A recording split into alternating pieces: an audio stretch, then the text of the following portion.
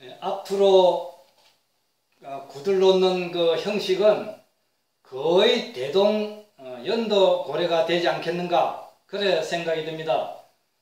예, 과거에는 건물의 어, 모형이 구조가 헛집입니다. 예, 그래서 헛집이면서 부엌이 그 건물 속에 있었기 때문에 굴뚝의 설치가 집 뒷면이라든지 집 측면에 어, 세워도 그 아궁의 하열이 고래 속에 잘 들어가게 된 것입니다. 그러나 어, 지금 짓는 건물들을 보면은 어, 헛집이 아니라 겹집입니다. 방 앞에는 거실이 있고 또 거실 옆에는 욕실이 있고 주방이 있고 그렇기 때문에 구들놓기에서 연도가 길면은 그만큼 어, 아궁의 하열이 어, 잘 들어가지 않습니다.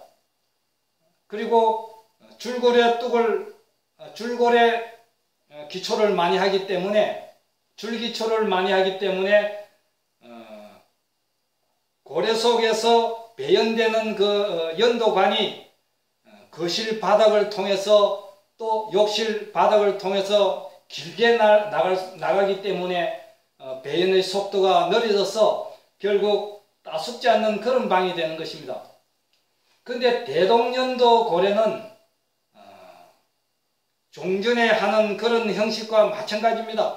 어, 아궁이가 여기 있다면은 비록 굴뚝이 옆에 있지만은 그 고래 안쪽에 연도와 굴뚝이 있는 형식으로 만들기 때문에 아주 고래 길이가 짧습니다.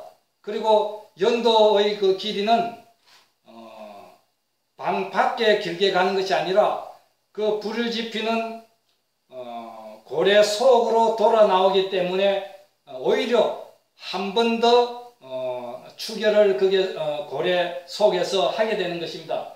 그래서 앞으로 구들놓기는 제가 볼 때 거의 아궁이 옆에 굴뚝이 있는 그런 형식이 되지 않겠는가 그렇게 여겨집니다.